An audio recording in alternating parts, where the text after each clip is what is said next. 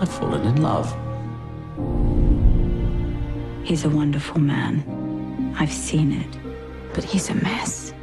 You couldn't possibly imagine what he's been through. I want to know what happened to Eric. War leaves a mark.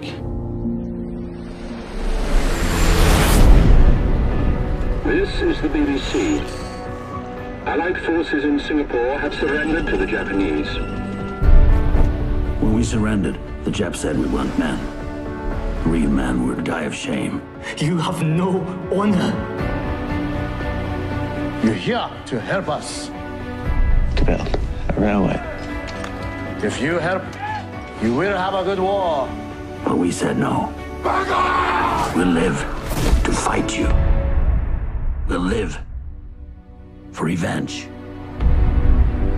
He's alive. He's alive. And I know where he is. He won't have a clue you're coming. This is what you're going to do, isn't it? I'm afraid the museum is closed. I'm surprised you don't recognize me. Lomax. I am asking the questions. You answer. I did not expect you to be alive. What did they do to you?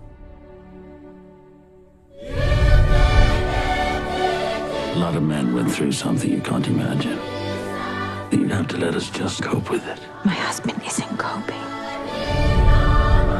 I love him, and I want him back. Will you stand by him, whatever he does? I have to try. I have suffered much. But I know you have suffered too. And you mean everything to me.